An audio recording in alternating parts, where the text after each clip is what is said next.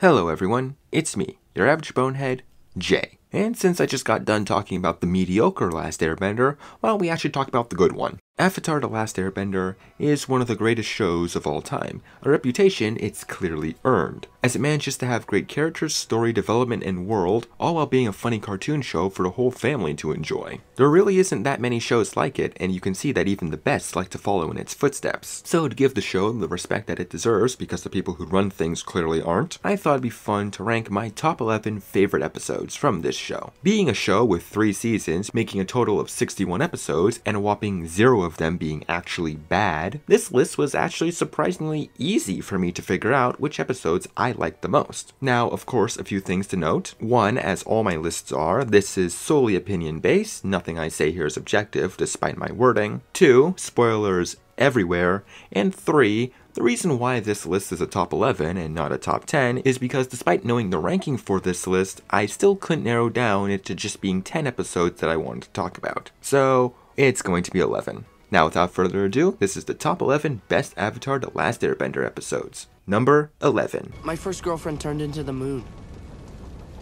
That's rough, buddy. The Boiling Rock. Of all the life-changing field trips with Zuko, I'm glad the one they made the two-parter was the good old-fashioned prison break, because my god does a lot of things happen in these two episodes. Sokka, feeling guilty for the failure of the invasion plan during the eclipse, convinces Zuko to take him to a Fire Nation maximum security prison, known as the Boiling Rock, as so Sokka can break his father out of prison. The two manage to sneak in, but unfortunately, he's not there. But the good news is, Suki is. Also on a side note, I just realized that Suki has been rotting in this prison basically since the halfway point of season 2. This girl really got the short end of the stick. But while crafting an escape plan, not only does Zuko get found out and arrested, but some of the other prisoners get involved with the escape plan. And on top of that, Sokka, Zuko, and Suki end up having to stay when they end up hearing that a new shipment of prisoners is coming that could contain Sokka's father. And luckily it does. That was all part 1 by the way. Some fans don't like part 1 all too much as they say it's not really necessary, but trust me, considering part 2, it is extremely necessary. Part 2 has Sokka reuniting with his dad, Zuko and Mai's relationship being viciously challenged, and one hell of a prison riot where they end up having to kidnap the warden. And that's when it clicks to you, wait, if Mai's here, that means Azula and Ty Lee are also here leading to one hell of an intense battle of Zuko, Sokka, and Suki fighting against Azula and Ty Lee on a gondola suspended above a boiling lake. And goddamn, Azula's like a machine. But on top of that, I do like the character moments featured in this episode, like around here where Zuko and Mai are arguing, and Zuko ends up saying this. But I have to do this to save my country. Save it? You're betraying your country. That's not how I see it.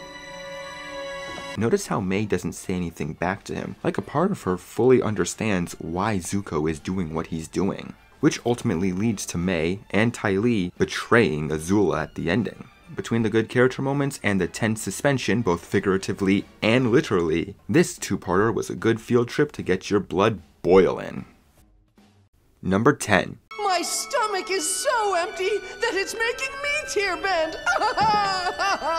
the Ember Island Players. Come on, I gotta be allowed one shitpost on this list. Though, to be fair, I don't think anyone actually dislikes this episode, as quite possibly one of the most famous filler episodes ever, this episode has the task of being the series recap, since it is the episode right before the finale. And as many people are aware, it did more than just succeed at that. Because the plot is, the gang decides that they want to go and watch a play that's based on them. Said play being an exaggerated retelling of all of their past adventures, that also doubles as foreshadowing to the final battle and Fire Nation propaganda. On top of that, the play is of course hilarious, being an in-universe parody of the show, with the characters all being exaggerated. I release a sonic wave from my mouth.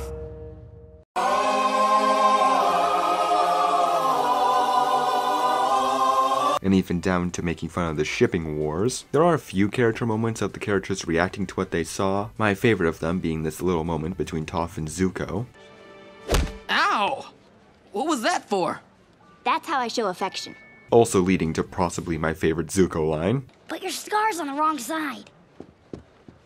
The scar's not on the wrong side! But other than that, it's mainly just them and us just watching the play. But I have to applaud them for how consistently funny and surreal it is the whole way through. And on top of that, I like the little in jokes that some people didn't catch on to. Like the reason why Aang is played by a woman in this play is because he was voiced by one in the pilot. And the reason why Toph is this big strong man is because originally that's how she was conceptualized before they decided to make her the character we all know and love today. So there's not much more I can say about this episode other than it's a great showstopper.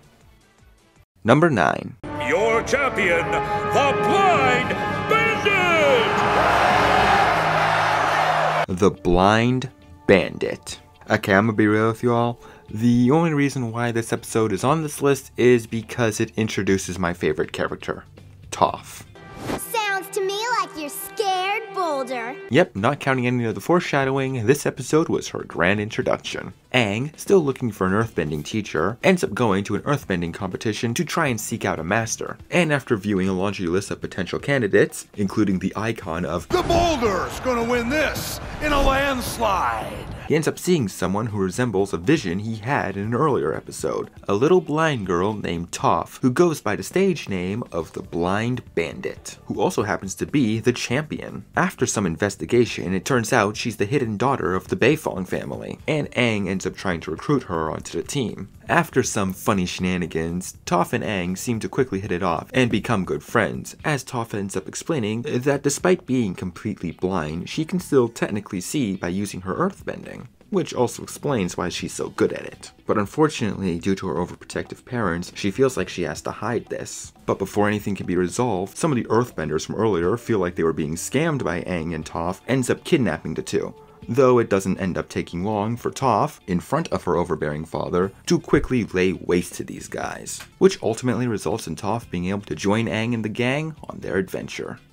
Even though her father doesn't approve. I want you to do whatever it takes to bring her home. Obviously, the star of this episode is Toph, and the reason why she's one of my favorite characters ever is because of the message that this episode and Toph in general presents. Toph is completely blind, but she doesn't let that stop her as she uses her earthbending to see, which allowed her to become very, very good at it. Her whole existence is a great message for people with disabilities, basically saying that you shouldn't let them stop you from trying to accomplish what you want in life and I think that's a good message for anyone to look up to. On top of all of that, though, this episode also just has the funny moments of Sokka with his bag and belt. Now I'm really glad I bought this bag. It matches the belt perfectly. That is a big relief. But overall, it was a good thing Toph's stage name was the Blind Bandit because she managed to definitely steal all of our hearts.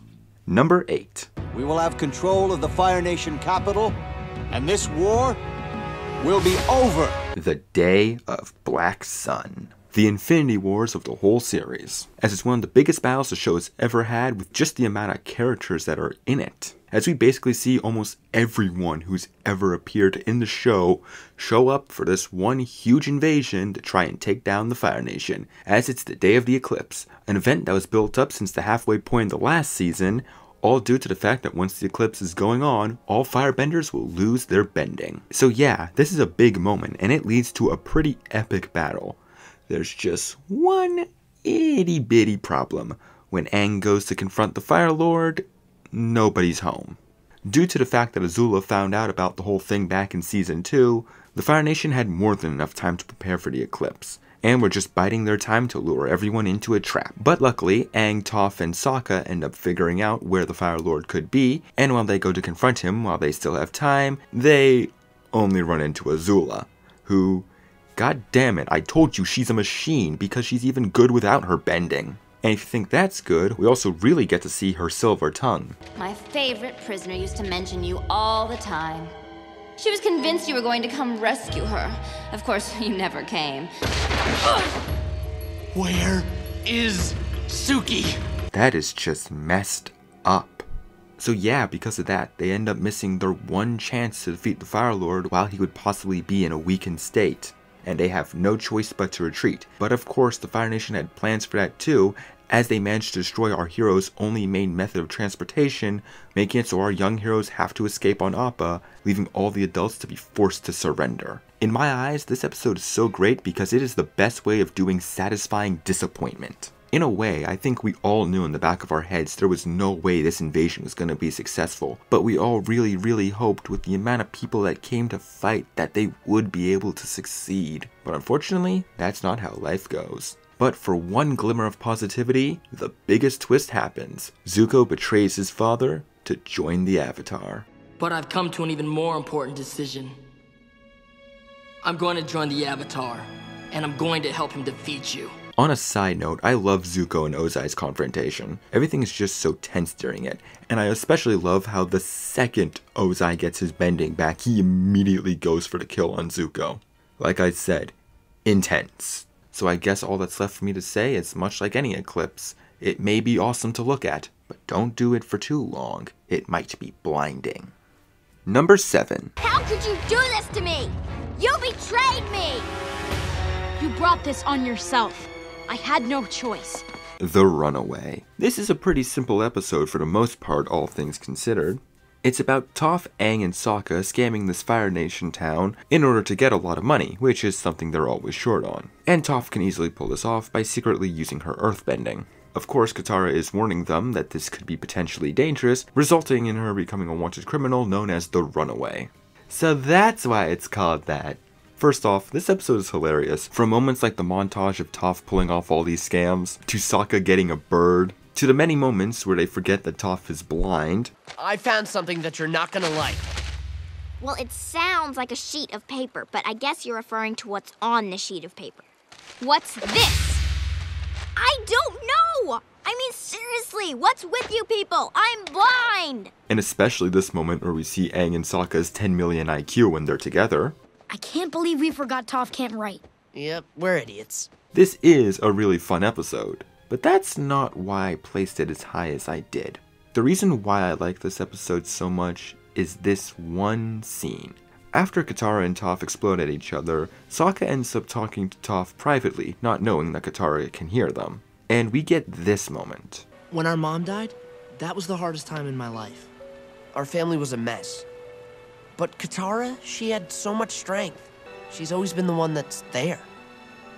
And now, when I try to remember my mom, Katara's is the only face I can picture.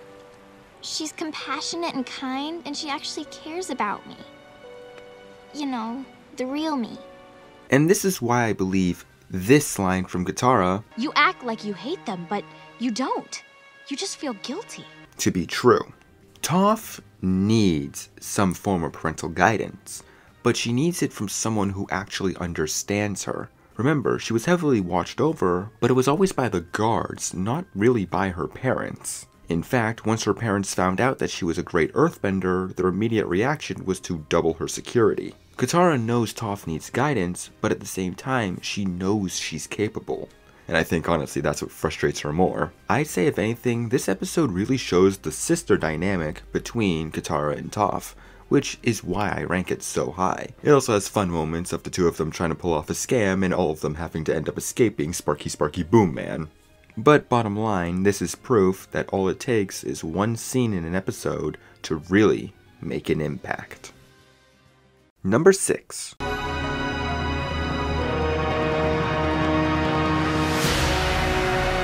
The Guru and the Crossroads of Destiny. The best way I can describe the season 2 finale is it's the Empire Strikes Back of Avatar, and of course I mean that as a compliment. This two-parter perfectly shows the light being consumed by the darkness. What I mean by that is in part 1, The Guru, everything seems to be going pretty well for our main heroes. Even Zuko is happy, owning a tea shop with his uncle.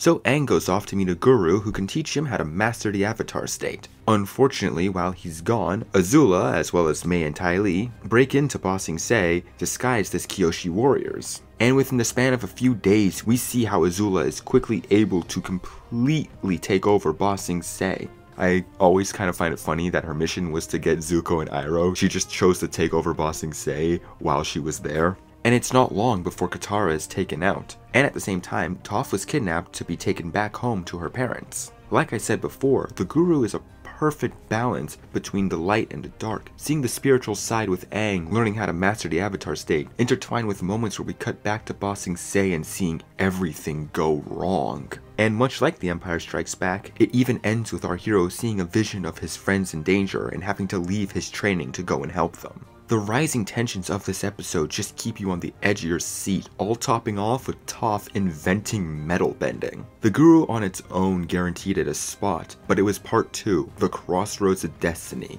that really solidified it being this high on the list. Aang, Sokka, and Toph return to Ba Sing Se right as Azula puts her plan into action, so the three have no choice but to team up with Iroh to rescue Katara and Zuko, which of course leads to some great action and unique team-ups. But of course, I also love this line from Azula. You've beaten me at my own game. Don't flatter yourself. You were never even a player. God damn, this 14 year old girl, yes, she's 14, the same age as Luz and Steven, is scary. We really see how manipulative Azula can be, because right when it looks like Zuko, after showing that he's finally been happy and having a nice moment with Katara that is just there for friendship, you fools, it looks like Zuko will actually be on our side, only for him to not only betray all the good things happening to him, but betray his uncle because Azula promised him his honor back. That look from Iroh says it all. And on top of all of that failure and heartbreak, Aang was told in the Guru if he dies in the Avatar state, the Avatar will not be reborn. And guess what Azula does?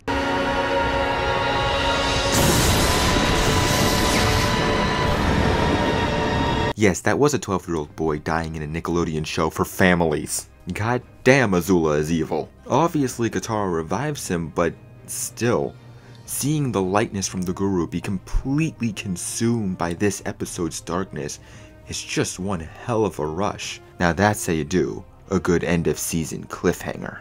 Number 5. She was protecting the last waterbender. What? Who? Me! The Southern Raiders. This episode in a family show tackles the relatively mature subject matter of cold blooded revenge. Emphasis on cold blooded. After managing to escape Azula and her amazing one liners, I am about to celebrate becoming an only child! we see Zuko still trying to make amends with Katara, but she still doesn't like him due to his betrayal back at the ending of season 2. So, after the funniest, most risque joke this show's ever done, Well, hello! Zuko decides to give Katara the one thing she always, or at least thinks she always wanted revenge. The two manage to track down who they think killed Katara's mother all those years ago, the leader of the Southern Raiders. And when they think they found him, Katara is so blinded by rage she blood bends the guy without hesitation.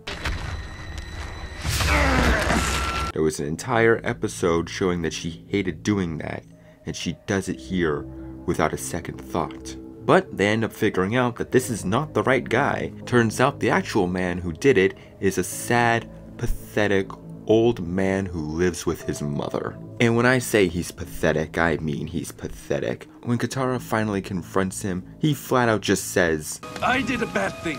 I know I did. And you deserve revenge. So why don't you take my mother? That would be fair.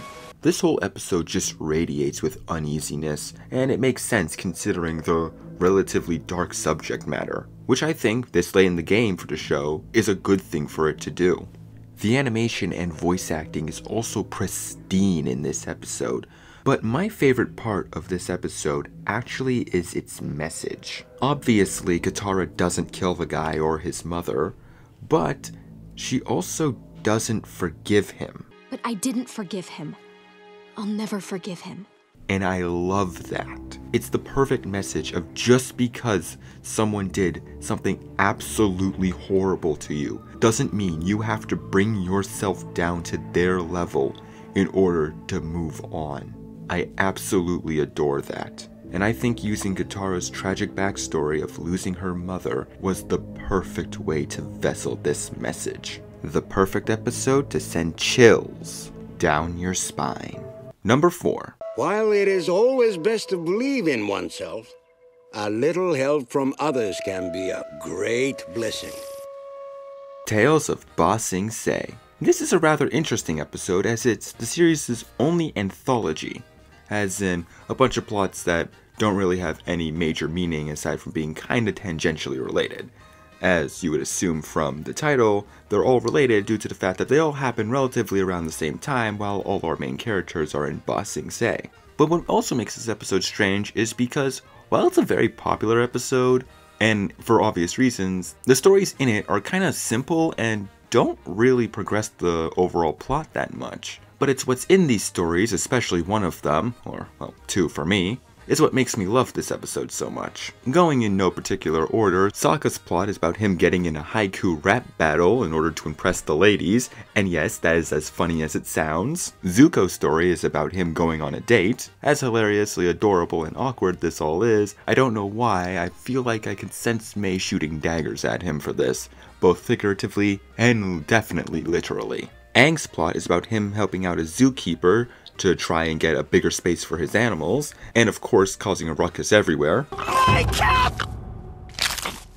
Oh, forget it! Don't worry, it all works out in the end. Momo's plot is the one that definitely progresses the plot the most. It's about him still looking for Appa, and ultimately tagging along with these other creatures that end up trying to eat him, but end up taking a liking to him after Momo saves them, and they show Momo that Appa is somewhere in the city. But if we're going over my two favorite stories, first is the one of Toph and Katara, and it's about the two going out and having a relaxing spa day together. Aside from this one being funny and really showcasing these two sister bond, I like it for what Toph says here after the duo swiftly deal with a bunch of girls that were making fun of them. Is that I don't have to waste my time worrying about appearances. I don't care what I look like. I'm not looking for anyone's approval.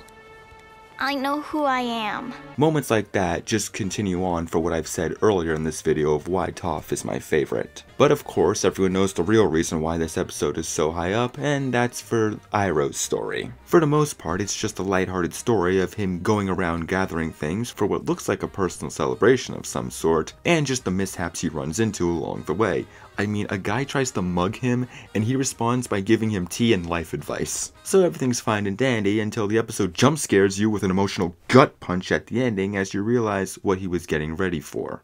Iroh was getting ready for the anniversary of losing his son.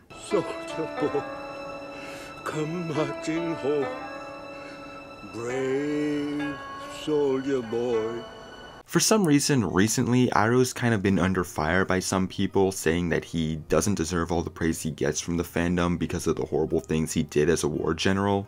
But guys, I don't mean to burst your bubble, but I'm pretty sure Iroh's aware of the atrocities he committed. The whole point is that Iroh was just as brainwashed as everyone else in the Fire Nation until he ended up losing his son, a punishment dealt to him he could never take back. It was only then where Iroh woke up and realized the horrors he was causing to everyone else when it finally happened to him. Iroh doesn't strike me as the type of character who believes that he deserves forgiveness for what he has done. Hence why he spends the rest of his days consistently trying to undo all his past mistakes and why he tries so hard to guide the one other person who fills the void of being the closest thing to a son to him, Zuko, and tries to keep him on the right path so that would never happen to him. And if somehow you couldn't figure all of that out just by watching this episode, then I'm sorry this show for 12 year olds is too complicated for you. Number 3. Who does Zuko think he is? Do you really want to know? The Storm. What more can I add? No, seriously. What can I add? Everyone knows this one. Everyone loves this one. In this episode, during a raging storm, we get the backstories of both Aang and Zuko. We learn that after they told Aang he was the Avatar, a bunch of the other younger air nomads that used to be his friends kinda stopped hanging out with him that much, and even more so, that Aang was going to be taken away from his guardian, Monk Gyatso, and sent away to master the elements as quickly as possible as whispers of a war was coming. But being a kid, Aang could not take the responsibility and ran away, getting lost in the storm and freezing himself for a hundred years. On Zuko's side of the story, we see that he was a well-meaning prince who dared criticize the crazy ideas of a general who said they should send their own men on a suicide mission. So, Zuko was forced to battle in an Agni Kai. But what he didn't know is it wasn't the general he disgraced, it was his father. Feeling ashamed, Zuko refused to fight his own father, so Ozai burnt half his face and banished him with the impossible task of finding the Avatar. And yeah, both stories equally tragic, but I think what I love about this episode the most is that we learn these stories at the same time. Despite them taking place almost a century apart from each other, we see how intertwined and similar they are. And in just the span of 22 minutes, we now know the complete history of our main protagonist and our main antagonist, and why and how these two feel isolated and alone, despite the people around them with one choosing to hide behind his naivete and the other choosing to hide behind his anger. But I think what I love most about these stories happening at the same time is that it cleverly foreshadows that these two will inevitably become friends, especially this scene at the ending where they look at each other. You can tell there's a connection there that maybe even they don't know it, but we know it. But other than that,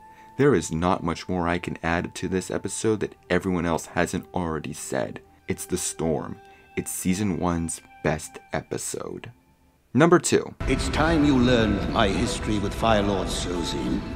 You need to understand how the war began if you want to know how to end it. The Avatar and the Fire Lord. This is an episode I weirdly don't see many people talk about, which is weird because it's basically a sequel to The Storm two seasons later. In this episode, Aang and Zuko end up learning the stories of Avatar Roku and Fire Lord Sozin. And they, along with us, end up learning that those two used to be the bestest of friends, who basically shared everything together and were always looking out for one another. However, things took a turn for the worse after Roku left to train to become the Avatar, and Sozin ended up coming up with an idea to spread the Fire Nation to unite all the other nations with it. And we also see their first and final confrontation as we see how Roku tried and failed to properly defeat Sozin which ended up pushing his burden onto a 12 year old boy. And we also see how Sozin betrayed Roku, leaving him for dead on an erupting volcano. Seeing how this whole war all started really puts it all into perspective if you ask me, and one thing that I love is the characterization of Sozin. I like that he wasn't born a monster. In fact, his original plans didn't even seem to first originate from a sense of malice. It seemed that he was genuinely thinking that the Fire Nation could help the world. The problem was he allowed his ambitions to turn into a lust for power and go out of control, which is what led him to doing such horrible deeds.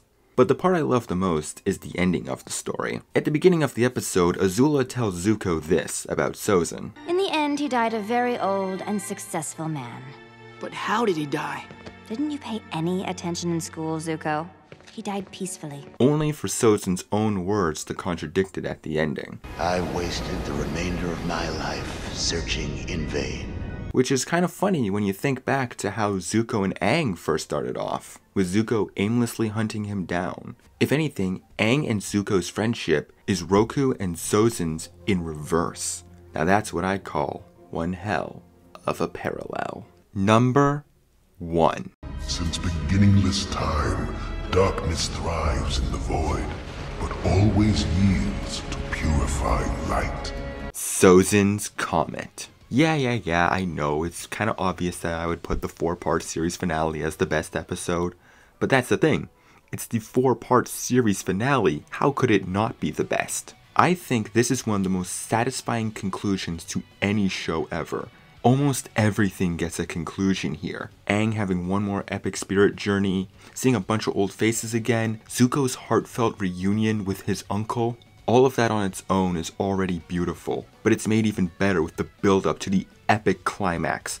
Sokka, Toph, and Suki going on one hell of a mission to stop the airships, the White Lotus liberating Ba Sing Se, and of course the two epic final battles of Zuko and Katara versus Azula and Aang versus Ozai. I love the final showdown of Zuko and Katara against Azula. Just seeing how unhinged unhinged Azula has become, it honestly makes me feel for her. But she did cheat, causing Zuko to almost die, sacrificing himself. So she kinda gets what she deserves, and I love the way Katara did it. But on top of that, the final showdown between Aang and Ozai was great. Just seeing Aang having all that raw power, but ultimately choosing to not kill the Fire Lord, and instead coming up with a new way by taking away his bending, making him completely powerless. Now, I've seen some people complain about this ending, saying it's a Deus Ex Machina, and Eh, technically, technically not. I do think they could have foreshadowed energy bending a bit better, but if any of you genuinely think that the solution to this problem should have been Aang killing the Fire Lord, then you guys were not paying attention to any of this show's three seasons that hammered in that Aang doesn't like doing that. Aang should not have to sacrifice what makes him him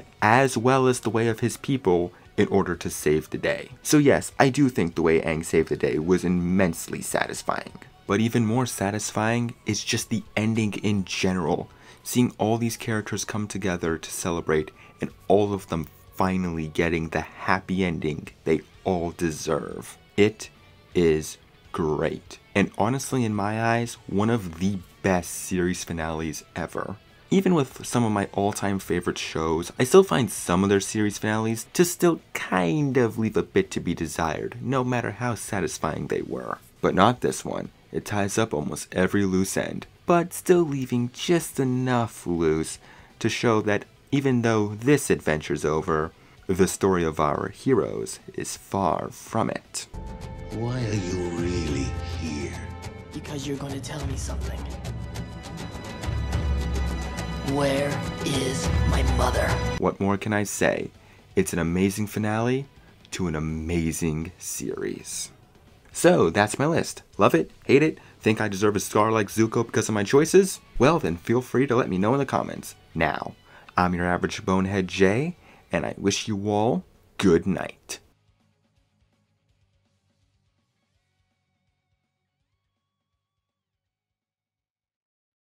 Oh, you're still here. Well, since you stuck around for this long, you might as well like and subscribe, comment if you're feeling really daring. And while you're at it, you might as well follow me on Twitter and Instagram at jayskeletyn. Links down below. And if you just want to see more, you can check out the playlists or look at my last video. Now thanks for watching, and if you need me, I'm going back to bed